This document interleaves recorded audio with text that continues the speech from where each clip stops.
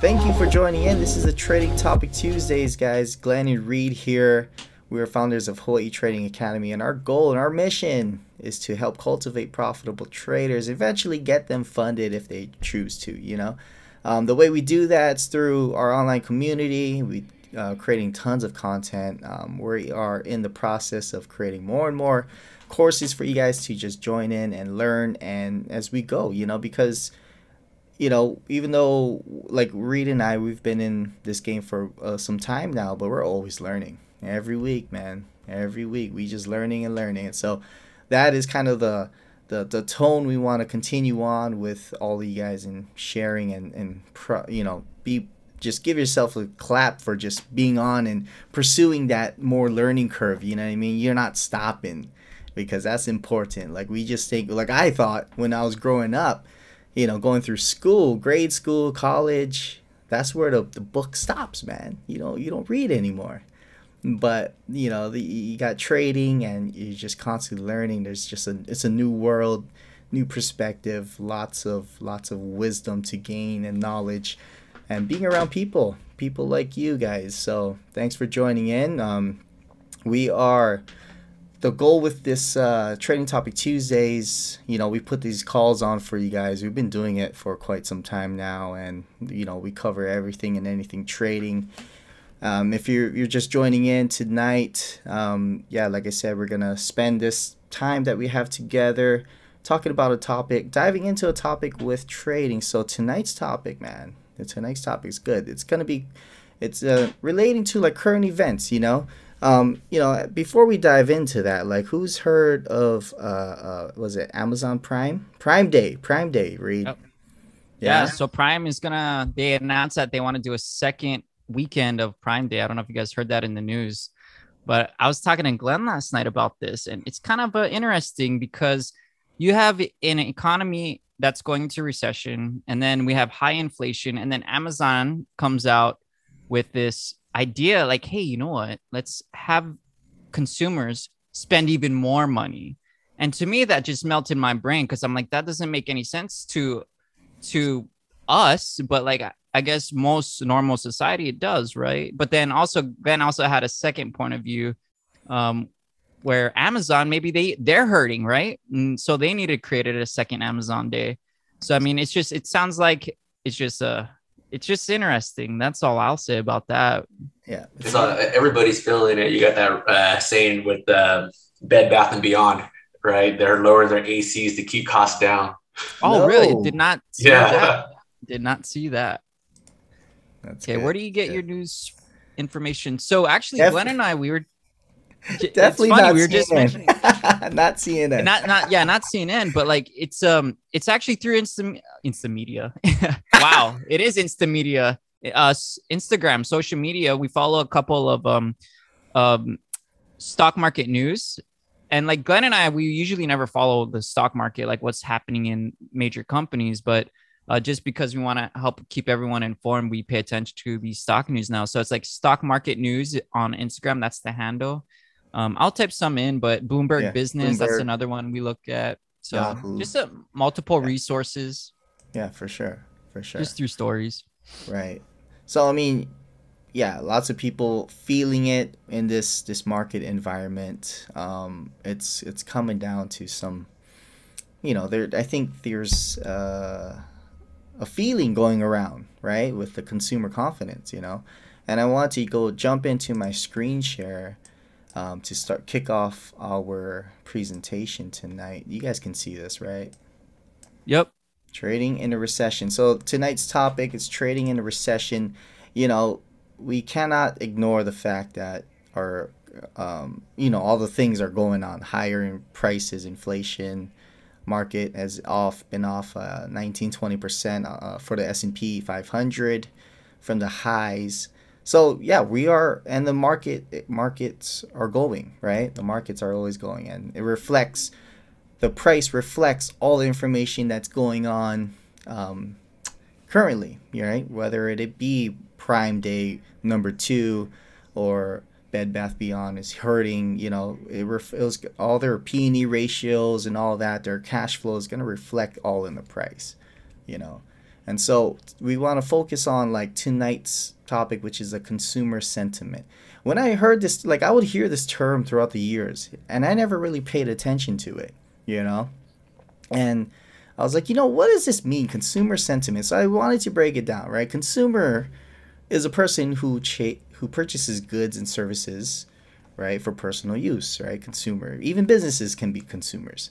Um, we're a consumer of Zoom right now, you know, and so consumer. That's what consumer means. And sentiment, you know, sentiment's an attitude, thought, or judgment prompt by a feeling. So these these are uh, dictionary.com definitions and you know we're breaking it down i like to just break down these terms to simple stuff because i'm a simple person man i need to understand so sentiment is an attitude so if you put those two together consumer sentiment it's kind of just the the, the confidence of um, what the average people or the consumers are feeling towards the economy right now the us economy in particular and so this is a cool study that we came across from Bloomberg. I think this is from the University of Michigan. Um, we this is I think this was released a few weeks ago, but we hit a record low of um, consumer confidence, you know, and we're like, okay, like yeah, you can see the the years previously that that were um, the recent lows, which was about 2008 and I think we had this big recent dump from 2020.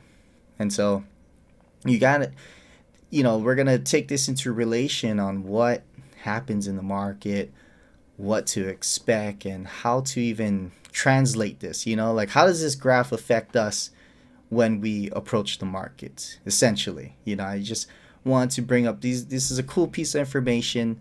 You know, I'm, I'm not just trying to be the news tonight. there's there's a point for this, right? So yeah, there's a re- it's a record low right now. I don't know how they measure it. It's 50.2 Consumer Sentiment Index. Okay, so maybe there's a ticker for this. I don't know. Um, but that was very interesting. Very interesting. I came across this, and so this is a cool another stat that I I've we've came across too. So personal income, if they're taking the personal income of, I think the U.S. Um, consumer, overall, the personal income has increased to 107 billion, 107.2 billion, or 0.5% at a monthly rate, while consumer spending increased to 185 billion, or 1.1%. Uh, d- this was March this year, you know, and so our spending clearly is exceeding our income as a whole economy. Um, the increase in personal income primarily reflected as an increase in compensation. So you know, through our, our paychecks, W 2s, whatever. Personal saving rate was 6.2% in March compared to uh, 6.8% in February, meaning, so this was uh, a stat from the BEA.gov um, website. So spending is more, earnings are less, savings are getting lower. So that's kind of, if you just look at those three numbers, those three factors, the average consumer is tapping into their savings because the spending is higher. Maybe they're just keeping up with the inflation and whatnot. You know, so that's just an interesting stat. Um, you know that this is what's happening in in the marketplace nowadays. You know, so similarly, what does that mean for traders? How does that? How do these stats affect the traders' confidence? Because um, as traders, we somewhat have to stay grounded in today's market environment. We need to understand that hey, these things are going on. Powell's going to be speaking. They're going to raise interest rates. That way, we can help. We can navigate our portfolio, our trading in the best way possible. We're not going to go long bonds all the way, or, um, you know, just go long in all the indices because if if all the details or, or fundamentals are just adding up to not just being good you know um, all the stocks are getting crushed even though their earnings aren't way off they're getting crushed all these things so as a trader like we have to be aware but also remain disciplined. You know, I don't know if you want to add anything to that, Reed. No, I was gonna say I'm I'm silent right now. I like because uh, we're about to get into the points and how does this affect our confidence, our traders' confidence. Yeah. So yeah, yeah, I'm excited yeah. for this one. Sweet.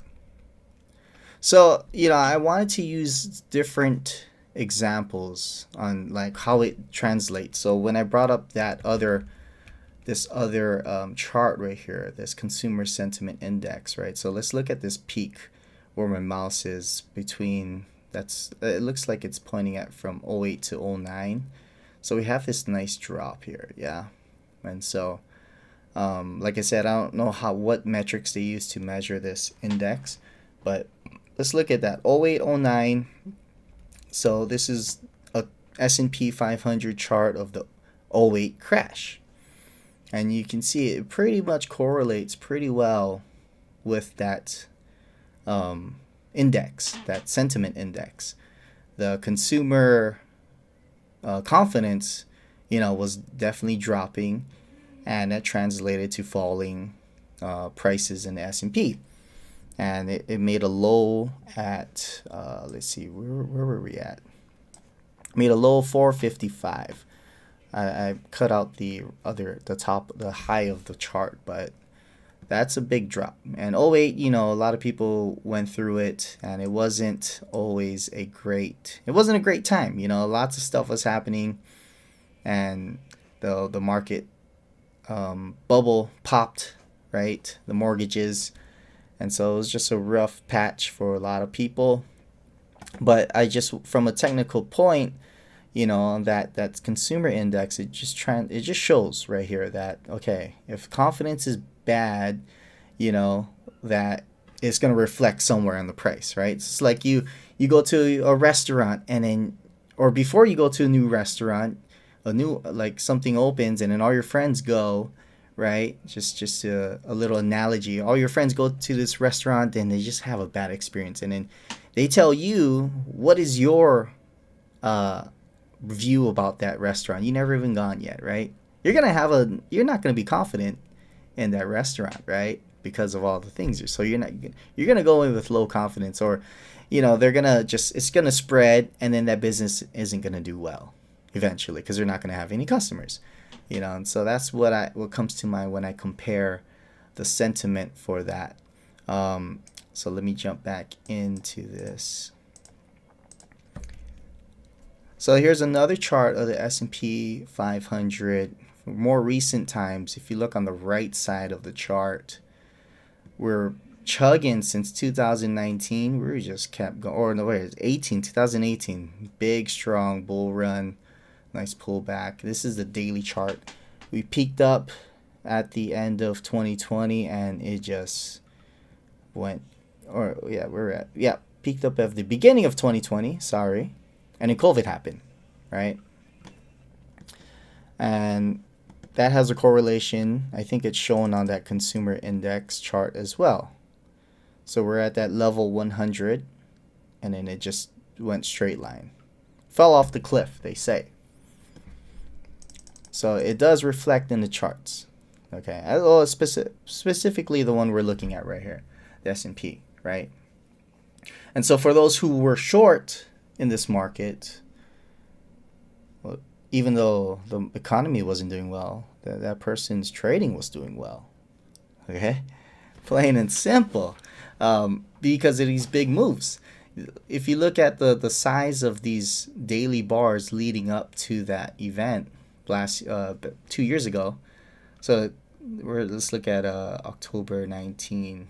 So we have some very, just very steady movements, nothing too crazy right? You Peaked up, and then you just got these massive, big red candles just just going nuts, and the market tries to recover, or people try to cover their positions and whatnot. It just tanks some more. So it was just essential free fall. Volatility increases there.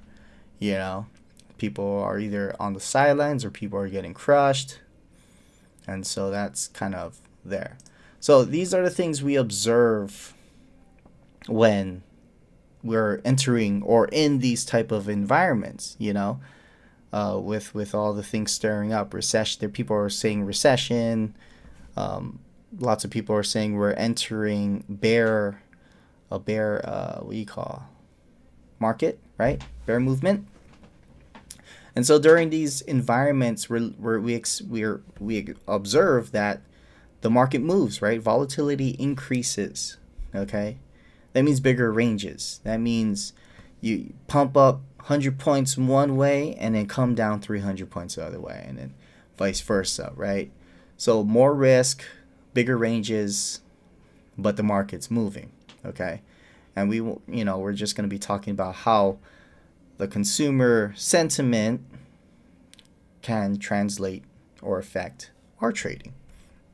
So, number one, market moves, volatility. Number two, nothing new under the sun. Okay, markets are cyclic. Cyclic. Am I saying it right, bro? Cyclic. yeah. Cyclic. So, markets are they have cycles. If you go on a big, wide, um, just a big view of like the past 100 years, you're gonna notice that the market moves in cycles. Right? We're gonna have a boom. Uh, I think George Soros coins it his boom and bust theory, trading theory and he that's the his kind of trading style. He'll he'll ride the boom on the economy of a country and then he'll ride that bus when they go down. So his big trade, for example, was that uh, he sh- he broke uh, Barings Bank, I think, billion billion dollar short. Bank of England. One of those British pound. I think it's British pound he broke, huh? Yeah. The Bank of England because he understood that these markets are, are cyclic, that they they move, right? And there's their cycles to them. Um, there's all these stats out there. You can go start digging into them if you want to do some more research.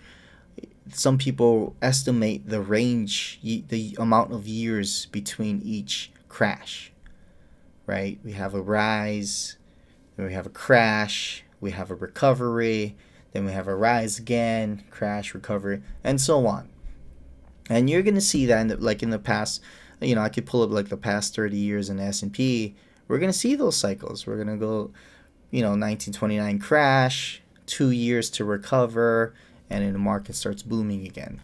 So in, addition to market the consumer confidence rises you know so it's that's kind of the correlation we're kind of making here number three you know when as retail traders individual traders we have the um, like a big pro of ours is we can move in and out of the markets.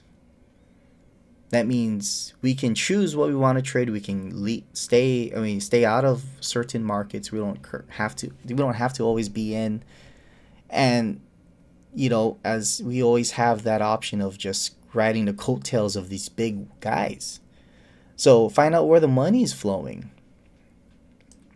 The money just because money is taken out in one sector one market right? For for example i think uh, crypto.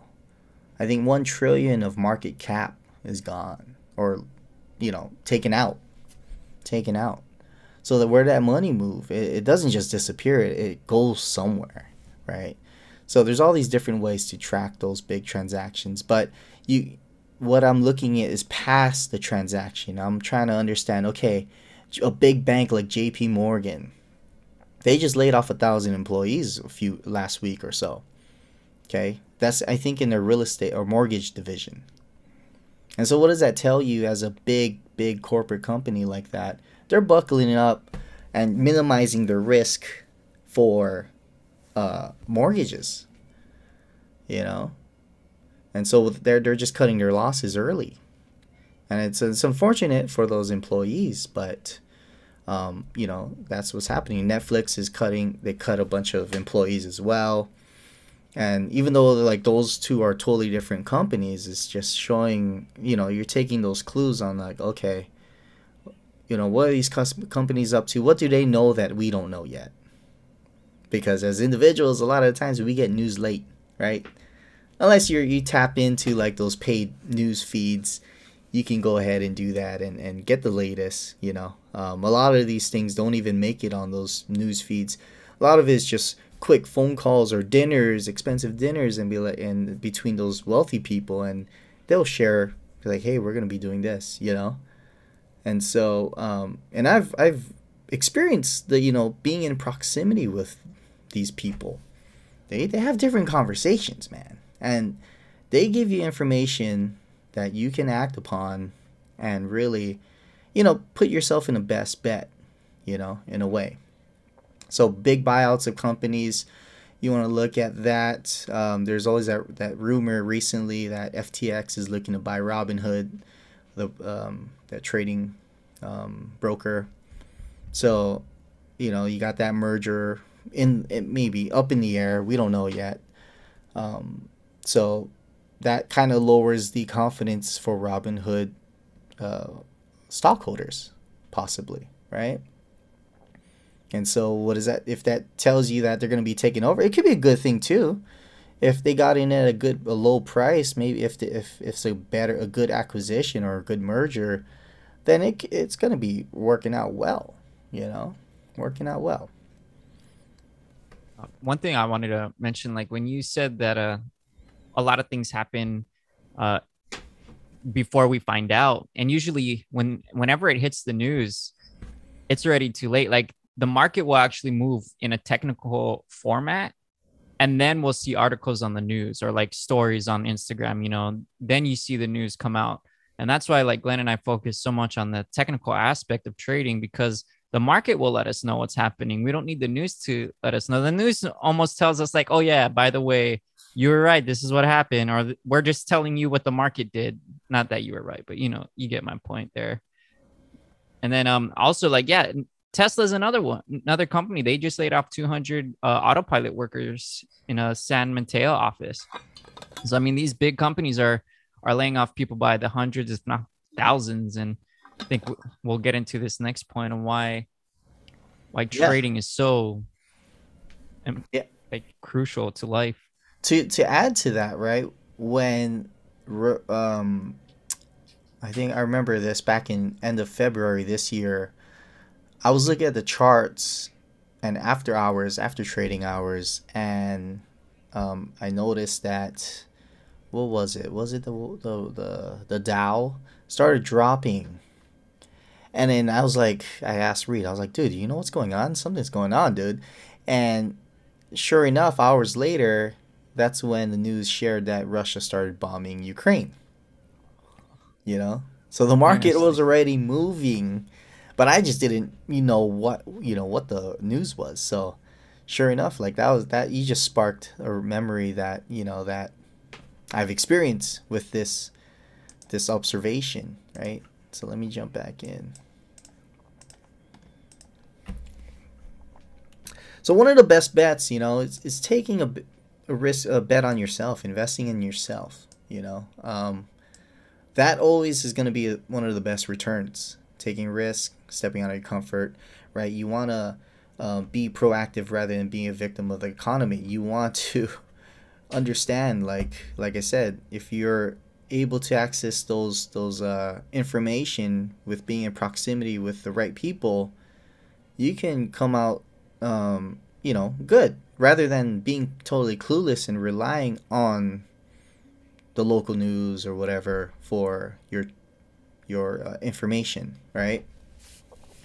Uh, what does that mean, right? What does that mean? So, like, going ahead and, and investing in your learning, taking taking newer course classes, whatever, getting in proximity with the right people, right? These these people who um, you just want to learn from, get mentors from, or whatnot. You know, they're they have a they have a good tie to the top of Goldman, right, or, or whatever. That way you can get like a somewhat of an inside pulse on what they may be seeing and what they may be what Goldman is expecting. You know? Um, yeah, of course you got to take it with a grain of salt, right? But that that could be a, a difference between having a profitable, successful trading year or a, a, a bust.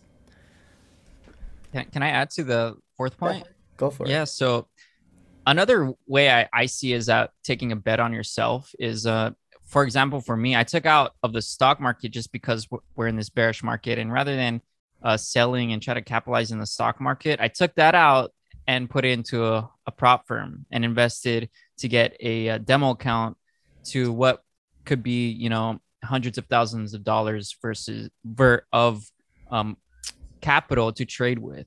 And so that's what that to me that's taking a risk at taking a bet on myself. I'd rather do that than, you know, go buy new shoes or go buy things or, you know, certain things like that.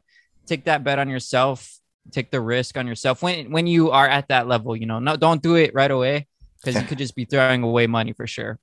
But definitely if you know what you're doing um, and you're confident, I think confidence is more important than that. Um, but confidence in knowing what you're doing. But yeah, that's all, man. Like I'll No, say for that point. That's it, man. That's it. It's it's uh knowing having the right information so that you can leverage what you have now and to catapulting catapulting you into a better position, you know. You know, you got to ask that question. See, you know, throwing it in, no one knows what's going to happen, right, in the future. Uh but say something is brewing right now, a big crash, right? Where do you want to you got to ask yourself that question. Where do you want to see yourself after that? Where do you want to be after that? Right? There's a good chance we're going to be surviving through that. But how do how do we want to be after this crash? Uh, my mentor always says never waste a good recession. You know, that's where a lot of wealth transfers happen during these times. Um, COVID reminds me so much, man. There was so much opportunity to to buy uh, during COVID, you know, and there was a massive bull run during the 2020. I want to be cash heavy and ready. Yeah. Yeah. see, there you go. Sam just said I want to be cash heavy and ready. Um, let me meet your mentor. curious, yeah. So can we meet your mentor, Glenn? Go ahead and share who your Yeah, mentor yeah. is. No, man. so I have a few mentors. Uh, one of the the mentor I just quoted was Grant Cardone. Um, I don't for those who doesn't know, big real estate guy. I think he has over 5.5 billion under management in his real estate portfolio. But I, you know, I've learned, I've found him through social media. But he's he's a great businessman as well. Owns many many companies, and um, that's who I've just been learning from and and getting close to and you know taking in all that information you know the way he thinks that's just massive. Uh, 10x if you guys ever ma- uh, come come across his stuff. But yeah uh, i mean tell you having no matter who the mentor is i mean as long as you have something somebody right you can have a bunch. You don't want to have too many when you start you're starting to uh, get mentors because a lot of it can be conflicting. So, you know, I look up to a few, especially like maybe one or two for trading, right? There's, there's, we got Mike Covel, um, Tom Basso, love their stuff. Everything else, because I mesh directly in that, you know, and Reed, I'm sure you got some uh, trading mentors, and you don't have to know them personally. You know, Brett. Steenbarger. Steenbarger. That's one of my time my my faves right there. Brett and uh Mike, um, not Mike, uh Marcus, Mark Douglas, Mark Douglas. Douglas. Those are one of my top two. But I mean, yeah, there's there's a plethora of them, man. Uh, Michael Covel, you know, Yeah. Steve Burns, a lot of people. But then as far as just mentors in general in life, there's a lot of self developmental um and mentors that I look up to as well. Yeah. Do I know them? No, I don't. but your mentor could be anyone, man. Your mentor could be your friend. Glenn is a mentor, you know. Sam's a mentor. So there you go. so all mentors. I like to learn from everyone and anyone. So Eh, And don't forget your other half too. They're mentors, man, to our, you know, to us, right? my wife is yeah. you want to be the boss. teaches us patience, yeah. Kyokia. Yeah, yeah, yeah. Patience, patience. that and that's why we're good traders. You know, gotta apply the patience to the market. oh. But Boom. nah, yeah, moving on, man. Great Let's jump back in. Yeah, yeah, let's Okay. do it. And to round it off, right? Always opportunities in the market. Always. When the market is crashing, you know, I do have a a, a more a little bit of moral conflict inside of that voice. I'm like, dude, the market's crashing, but you making profits, man. People hurting out there. But I'm like, man, you know what? I'm an opportunist. I will be there. Okay. um, Yeah. and and you know that's just the the the game, I guess. The game we're playing, right? you know, in 2020, I was able to, I was able to ride that trend. Uh, let me just stop that. So back in 2020, that the the market was crashing. Um, I rode a odd dollar short and a USD yen short. I think it was a short, one of those, but it was massive. It was a big, big month for me, you know. And those that those two trades were able to make my year essentially, you know, because it was such a crazy move um, and the month after, because it was just whippy, after uh, I think in April, it kind of cut down my my wins. But at the same time, at the end of the year, I was still net net positive, you know, and so that's what you know we're trying to come across is yeah, like stuff is gonna happen, market's gonna move, um, but if you don't jump on that train, man, um, then it's gonna leave. It's gonna leave. Yeah, I just uh, you made me reflect on like just the people I talk to on a day to day basis, like coworkers and just even like friends through social media I run into, and they know I trade, so they're like, "Oh man, the market's doing bad. How are you doing?" I'm like, "I don't know, man. like at the market to me, it doesn't matter if it's up or down. There's ways to make money in the market, you know. So it's there's always opportunities. As long as you just follow your trading plan, you're gonna come out okay. You're gonna come out I think you're going to come out on top regardless of that profit figure, that return ratio. Because if you're following your plan, you're going to be su- successful when the market is has the right conditions for your plan. Yeah, and if you don't come out pro- profitable, right, you lose some money. That that's another you know thing on your belt, a little pin right there. Be like, hey, I traded through that recession yeah, crash. Absolutely, absolutely. Um, and they only lost this amount if it makes you guys feel better, look at how red a lot of these major hedge funds are. Believe it or not, these hedge funds are doing worse than the re- regular retail trader. And I mean, again, that's part of like regulations that they they are required to be in certain trades for a certain amount of time. They have to be in a, a number, uh, an amount of trades, you know, during a certain amount of period as well. So I mean, it's a little different as far as that goes. But I mean, it makes me feel good when I'm like, oh wow, this billion dollar hedge fund is down 20% and I'm only down 2%. Right on. That's that's oh. a win for me, you know? So the uh, ARK, Cathie Wood's ARK Fund, A R K K ticker, 63%. Wow. How uh, does this lady keep getting money from people? Year to date, year to date, man. I mean, that happens. They were uh so this is just one of the things that just came out of that came up when you were, were talking about that read. Um, yeah, it happens. These drawdowns happen, and it's real. So, it's real. Yeah, so Cathie Wood, she's uh she's the hedge fund. What is it? Owner, manager, head trader? I don't. It's her fund basically. but she has billions and billions of dollars, and her fund is called ARK. And what she was famously known for, she blew up during the 2020 pandemic. Uh, fiasco just because she went long Tesla. And during that time in 2020, Tesla, you know, we all know what happened to Tesla. It exploded in the in the right ways for uh, that stock, and so she made her most of her money just off of Tesla. And then she became, she became the all-seeing, all-knowing person that a lot of the the media wants to to blow up. But I mean, again, we don't know the ins and outs of what her strategies are, so Mm-hmm. But it, again, it just really feels good almost to see that like I'm okay, man. Like this person with billions and billions of dollars under their management. Yeah, yeah, absolutely. Yeah, I mean, I would love to just open up the floor. You know, if anything that uh, stood out to you or you resonated with that we just shared, you know, I'd love to. Or uh, even questions. Yeah. you out. Yeah had to finish my green drink. What about any trade, man? You, what's up, my put position that I had left a runner for today uh, finished up pretty amazing. I wasn't even expecting that, so it was great. Right on. What uh, what was your position, man? Uh, I posted it up on my um, idea on my um, call it a day pattern.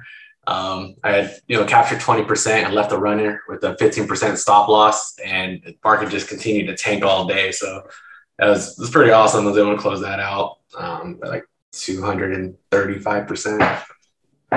Wow, nice, man. Yeah. Boom. That's it. That was on the, my majority of my position was closed at the 20%. That was just the runner. oh, yeah. Oh yeah. And, and Sam is an option trader for those of you wondering. Uh, so Sam is an option trader. He's and you're in and out of trades fast, right? In and out, yeah. I mean, I think I was in and walking ten minutes before I went to go get ready for work. yeah. Amazing. Yeah, nice. That's how it is. That's that's one way to trade. Call it a day. I and, and I constantly have my finger on the pulse on what's happening, um, so I'm, I'm able to pivot pretty quickly if I'm wrong. No, of course, of course, and I feel like um, when we have those outlier moves, right? Those those runners, that has a great effect on the rest of our uh, performance during for the rest of the year. You know what I mean? Because we can run into a little slump or a, a trading losing streak, and with that in mind, having that runner is like that extra cushion, you know. And so, yeah, man, that's awesome. Good job, dude. Good job. Now, share a couple of trades that I'm looking at right now. So I am, well, actually, I'm in too. So I'm in dollar CAD short. Uh, I don't like how it's shaping up on the four hour and the daily. Last night, Glenn and I were um, talking and this trade, I mean, it was moving nice. It was moving nice for the majority of of the day or start of the week. You know, I liked it, so I just set an entry order, got entered in. I'm just gonna stick to my guns, let it take me out, or continue onward. We'll see what happens. Um, one rule I like to live by is like don't base your decisions based off of one trade as far as like closing or entering the trade. Let the market do what it has to do. So another position I'm in is I got two trades on this one, one entry order, so three total uh, trades that I'm w- are willing to be in. But this is one position, dollar Swiss short. Uh, this is my current stop loss. Um, other than that, it's really just consolidating.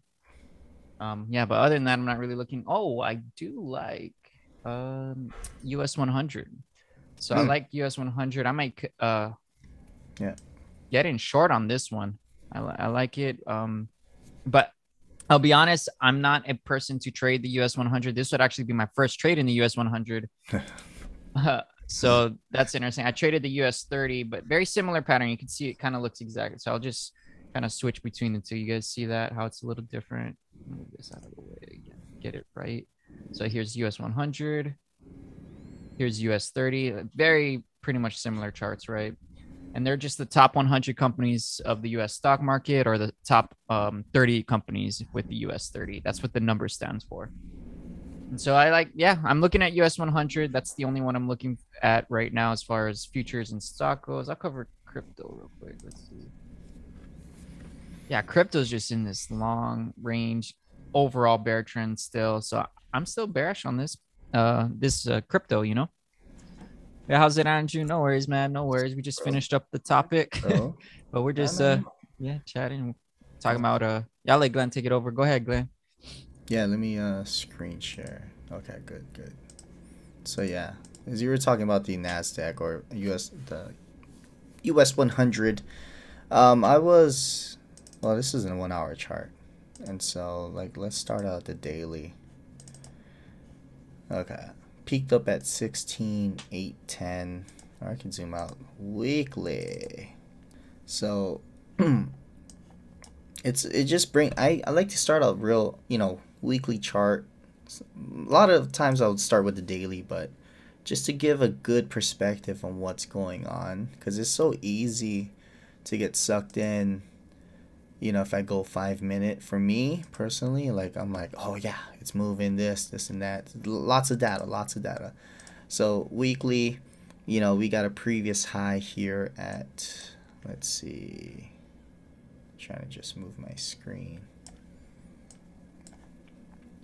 I'm just gonna draw a simple level, 9600, right? We had a previous low here at 10,900 and so we we're we're touch we're closing in on this recent level, um, and those those areas um I might be looking at.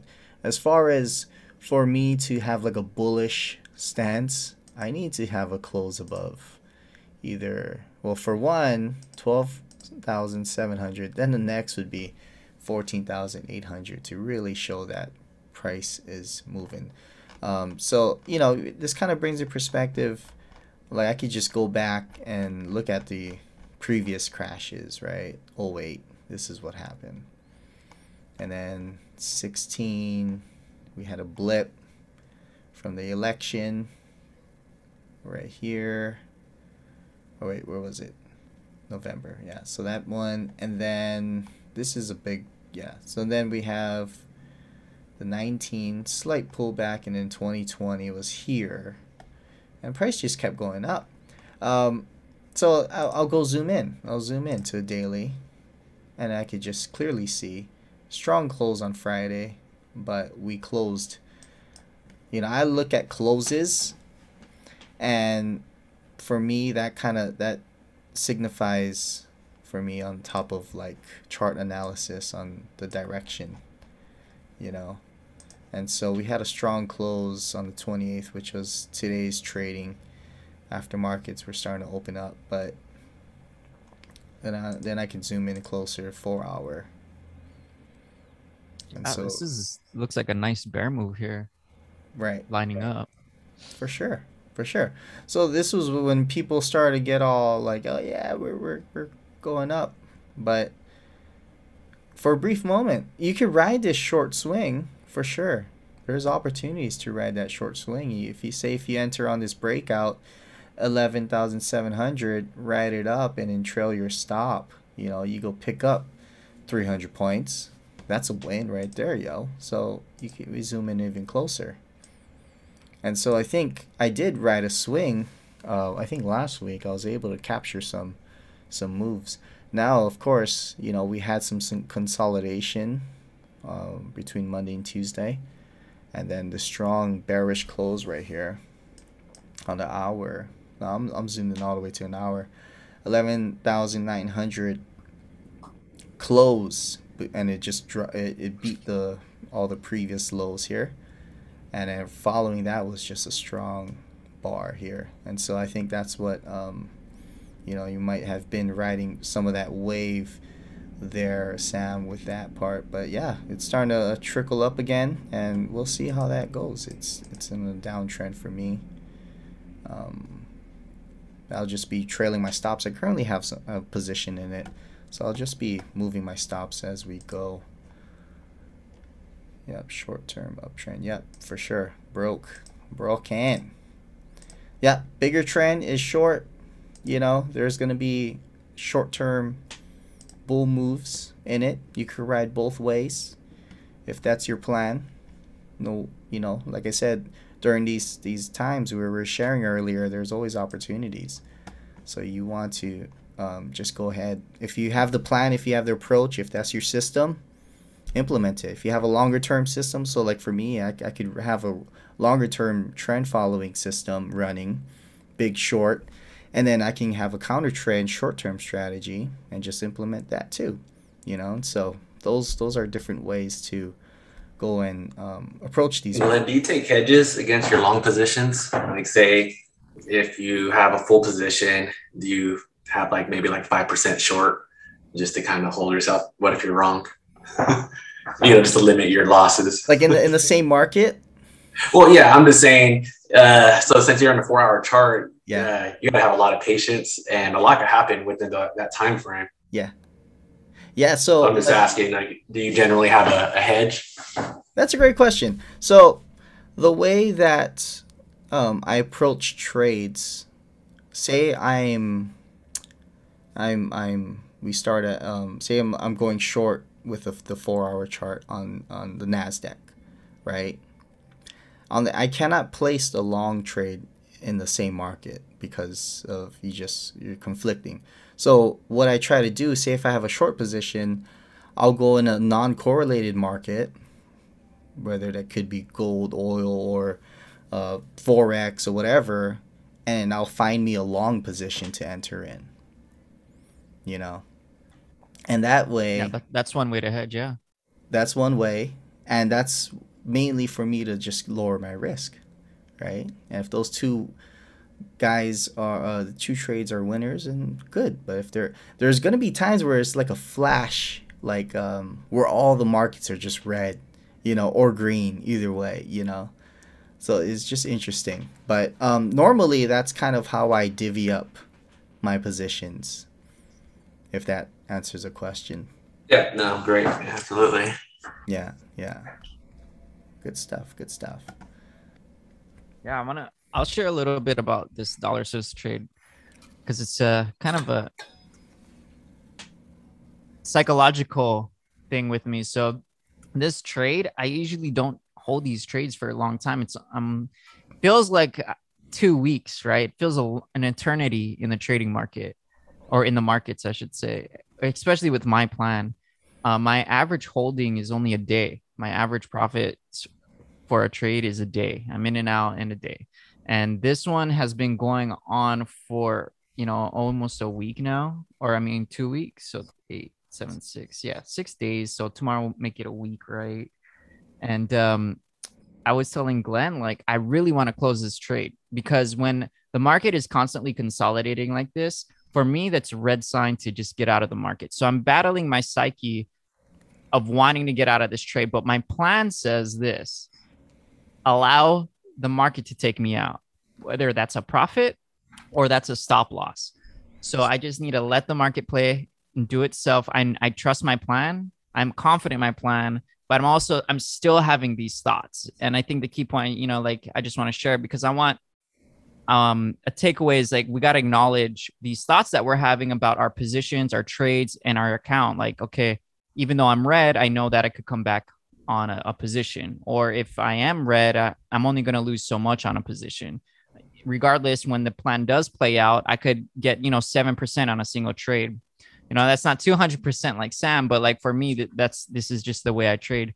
And if these positions all could turn out to be like a 21% move if they all uh, move uh, short heavily, you know, so it's just, it's just that battle, that mental battle that you have with yourself in the dark nights when you're looking at your screens. That that's the type of conversations you have to have with yourself. And I have these conversations with Glenn, fortunately. And so I'm able to he's able to put me on like just follow the plan, bro. Just follow the plan. I'm like, Raj, yep. Gotta gotta set the example, you know, just sticking to this plan. So I mean, that's just uh, something that I wanted to share about. Like all traders deal with this psychologically. You know, even like Michael Covel talks about it. He trusts his system so much where it's almost like it's mechanical, but still, yeah, you're gonna have these doubts about your trading plan, about the market, about your trading style. Did I lose an edge psychologically? You know, it's always questions on the table to be asking ourselves. But I think you know what's healthy is when we do ask those questions. I think. Yeah, I yeah. think that's how we know and they you know you always hear that term um, that line you know pres- your, your number one goal is to preserve capital right? And they talk about your cash capital. But no one really you don't really hear that you got to preserve your mental capital as well. And that's he- that's really key you know because they you always hear see those stories in, in Vegas that gambler went bust or that that poker player what traded on tilt was on tilt that could that will definitely happen to traders. If say even though you're, you're you're trying to protect your cash if your mental capital isn't there it's it's it's running short there then your decision making will not follow through you know? For sure for sure right? Yeah. But yeah i mean that's um you know if you guys have any other things to share or, or ask or share or you know we love to hear them but you know we're, we're coming up on the eight o'clock hour. And we've uh yeah we'll how about that are you looking at any entering any new positions glenn? Right now? Yeah. Um like, has your watch list changed since yeah no it Sunday? modifies throughout the year uh, throughout the week. Uh like yeah, i so think i did mention now? to you ethereum i entered a ethereum usd short position. And then us oil I went long. So, yeah, I mean, you know, going back to the question of like how do I hedge or, you know, nice. maintain my my trades. Um, that's a way. That's a way. Um, non-correlated markets as best as possible. Of course, you you know you could say that oh they're all measured against the U.S. dollar. I'm like yeah, you're right. Yeah, but in a way, um, you know, I focus on just my current risk, my current exposure in the market, my total exposure if I was to lose all my trades or tonight, tomorrow. What's what's the pain going to be? And that way I can mentally wrap myself and be prepared for that. You know, and that's a key thing right there. To Able to going. sleep at night, right? I, I, go. I sleep good, man. I sleep good. sleep soundly. yeah. That's one thing to note is like if you can't sleep and you always want to look at that trade, uh, it's a good warning sign that your body is saying, "Hey, maybe I'm risking too much on this position." So I've been there many times, so I I speak from experience. It's the kind you just tape the eyes open, bro, and just oh, dude, yeah, literally physically sick the next day just because you're so weak, you know, like and That's then you lose the position overnight anymore. what was that? Turn on, you had a drop of a dime. oh yeah, see, see, but you know yourself. You know, you know that yeah. okay, I can't handle any positions overnight. So boom, that's my new plan. Yeah. way, stick to it. Stay, write it out. Write it out. Good stuff. Tomorrow, um, I think Paul is gonna be speaking again. Yeah. 3 a.m. Hawaii Standard Time. Needs his limelight. So uh, you know that's something too. On on like for example like these uh indice markets right? I've noticed that when there's an announcement ready to go um coming up markets will kind of just teeter totter in an area. Not really have any vol- um, volume yet or, or moves. And so they'll just like maintain a level. And it, depending on you know whatever the the market moves either up or down that's when it'll um, move. So we'll see. We'll see. I'm not gonna close any of my trades down though, or not even like adjust it just because of that speech. you you, you sit on your hands, Reed. yes, sir. no, I mean like specifically for the because some like and if it was an NFP or something, you know, or like a a vote uh for like a what is it called an election if it's like a presidential election, I'd close my dollar CAD, dollar Swiss positions, you know, just because I know a lot of volatility happens up and down, quick whiplashes happen. Yeah, so, yeah. And you, when you say that, the, not tomorrow. Yeah, when you say like whiplashes, like if you look at the charts, that'll kind of translate into. Let me see what, what uh, like a doji, like a low test reversal. Let me try pull one up right now. Okay. I'll go like I got I got one on uh oil. You got one? Shoot. All right, share it, man. This is the the daily here. So you see this like this dojis. This right here, this candle. I'm gonna circle it for everyone. This one. So that's a what would be called a doji. And uh what happened was the market open, dropped down, went up, and then closed for basically a neutral position. And then also same with like uh, you could see here, you could see another doji here, but you could see this right here and right to the left of this doji is a low test reversal. And what that that happened is like, you know, something happened and then it popped back up and it closed there. So that that that sentiment is actually it didn't continue on in, in, in other words. So, like, I mean, all these reversals are my bread and butter. yeah, I love them, yeah. especially off of like significant EMAs or dynamic or uh, dynamic support and resistance lines, which is EMAs. But yeah, so this is what happens during like elections, except imagine it on a wider scale or like major news announcements is what I'm trying to say. Like you're gonna see big wicks. So let's say I wanted to go long. I'll just kind of put it for an example is like if I wanted to go long here, because I liked it at the time, it looked like a bar like this, right? This imagine this over here. So if I entered before the day even closed, I probably would have been taken out for a loss, or I would have. I'm not not even a probably. I would have been taken out in like three days here. So entered because I wanted to go long because I liked it. But guess what? It closed as a, a high test reversal and it immediately took me out. And so that, that this is just an example of like how you could see like fundamentals happening. I mean, there's during like huge elections and announcements, these things, these dojis and low test reversals, high test reversals, they're gonna be like hundred pip spread, hundred point spread, just because it, and it'll whip back and forth, you know, up and down right away. So um, yeah, that's it. My personal experience. I'm not ever gonna trade an election. I traded it out of greed. It was in the green. Um, after the results, I was in the red and I lost a lot of money. So I'm like, okay, I'm never doing that again, or at least not risking as much as I used to. But yeah, you have anything to add to like as far as fundamentals goes? No, you know, kind of just tune it back in with tonight's topic was the market sentiment. You know, we have all these things um, that to take into consideration, but it, it comes down to, you know, our trading plan, our discipline, our analysis, and our own conclusion of the market. What do we see in front of us? Okay, what's what's the price now? What's the price today?